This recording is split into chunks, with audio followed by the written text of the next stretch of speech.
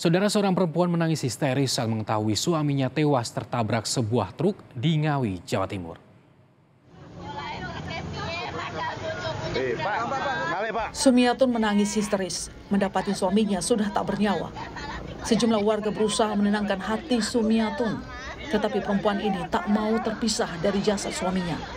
Suami Sumiatun tewas usai tertabrak truk pengangkut tebu di tepi jalan raya Paron Ngawi pada Kamis sore. Ironis, korban yang adalah seorang relawan penyeberangan tewas saat membantu penyeberangan di pertigaan desa Tempuran. Hasil pemeriksaan sementara, kecelakaan diduga akibat sopir truk berupaya menghindari kendaraan dari arah berlawanan. Saat banting setir ke kiri, truk justru menabrak korban.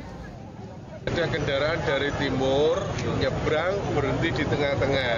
Lah truk itu dari arah utara malah ambil ke kiri. Lah posisi korban itu berdiri di pertigaan sini.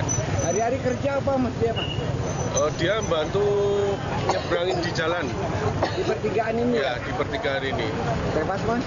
Ya, meninggal dunia di tempat. Jenazah korban langsung dibawa ke rumah sakit. Sementara itu, pengemudi truk diamankan ke Mapolres Ngawi dan kasus ini ditangani oleh unit Laka Lantas Polres Ngawi. Hendra Setiawan, Kompas TV Ngawi, Jawa Timur.